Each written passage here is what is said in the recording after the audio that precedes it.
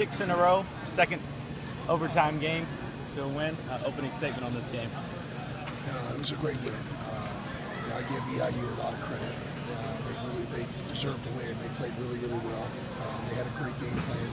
Uh, were really really physical with us in the first half, but our guys uh, were really resilient and found a way to win. And uh, I'm really proud of them. What's the common thread of these last two games and these last two comebacks in your mind? Well, I think first thing that comes to mind is that it's a really good league, and there's very good teams in this league from top to bottom. So there's a lot of parity. Uh, and number two, I think that our team has shown a lot of toughness. Um, they've been resilient. They've been able to to find ways to win when uh, things haven't been, you know, looking as well or even bleak. But uh, I'm really proud of our group. We, we got a tough group, and uh, we won the war on the glass. Uh, we were plus nine on the glass, and that's a huge deal for us. And uh, you know, I can't say enough about our guys. We really competed and played, played well enough to win. Continue to say that seniors win games in February. Is that ever more evident than tonight? For sure. Uh, Tamond and Miles in particular were really big, and I thought uh, Terrence Durham, you know, had a great, great game as well in the first half. Knocked down a couple shots, and uh, you know, but those two uh, fours and fives with Tamond and Miles, they, they were men in there tonight. How good was Tamon late into regulation and then into Oh, overtime as far as getting timely baskets? He was great. Um, you know, you can't say enough about him. I mean, he's uh, he's a warrior. We put the ball in his hands um, at the end of the game, and uh, you know, he's the one that's got us to the dance many, many times. And uh, you know, I, I- I can't say enough. He's a tough kid and uh, just makes winning plays.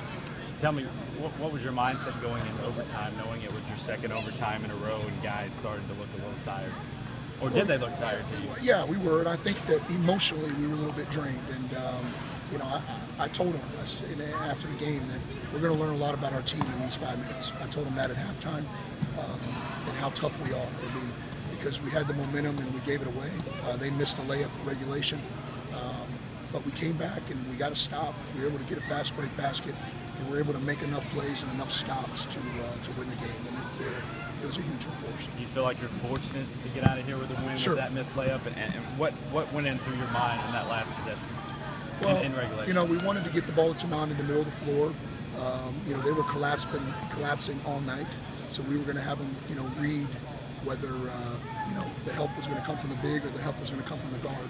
He's a good enough player and a good enough playmaker to read that.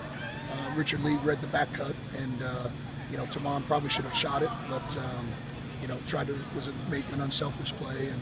But hey, uh, it happens, and uh, thought we spaced the floor pretty well around them.